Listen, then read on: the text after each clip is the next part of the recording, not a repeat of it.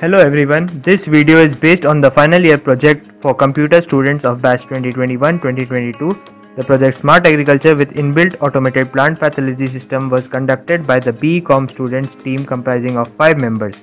Mr. Amatya Katyayan, Mr. Elij Fernandez, Ms. Tejaswini Sel, Ms. Sheena Mashilkar and Mr. Elroy Gama under the guidance of Professor Dr. Vivek Jog and co-guides Professor Janvi Naik and Professor Sia Naik of the Computer Department. Currently, there are several challenges faced by the agricultural industry, including the increasing demand of food and a high barrier to entry for inexperienced farmers. Also, up to 40% global crop production is lost to plant pests and diseases like wilt, leaf spots, pest attack and leaf curl.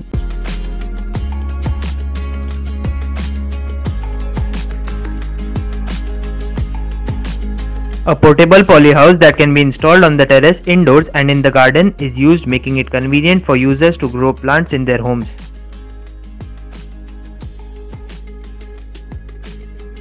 The pump is automated using a soil moisture sensor which is connected to the Raspberry Pi. When no water is detected, the pump turns on and when it detects water, the pump stops.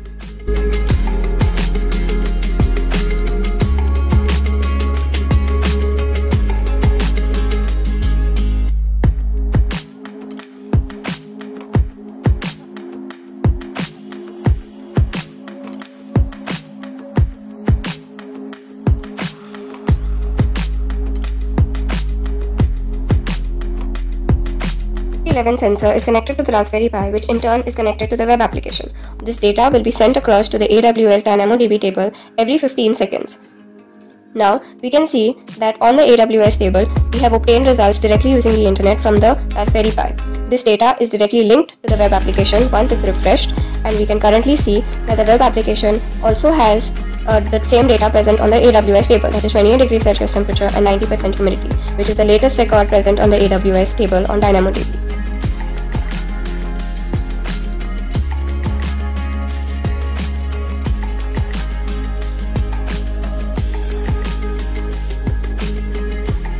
So we upload the image of a chili plant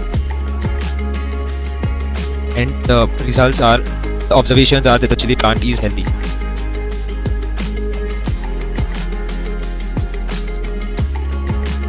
This is the leaf of a brinjal plant and it says that the confidence is 99.9 and it's uh, healthy.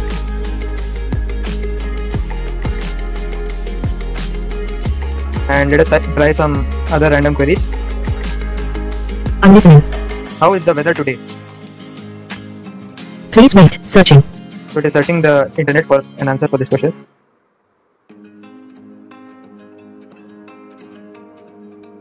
In your location at Monday, 4 p.m. the weather condition is mostly cloudy.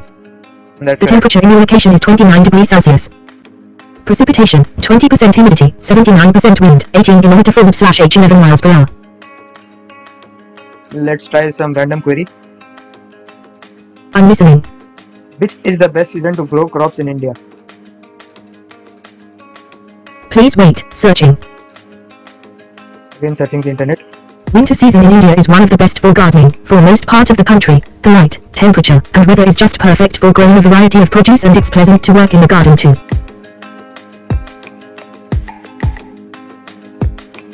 leaf spots are not much but this is one leaf which has leaf spot on it as you can see. Let's see if the application detects it. Okay. Bring our application towards the leaf. Okay. And from far only let's show it the leaf. Okay. So slide leaf spot see see see.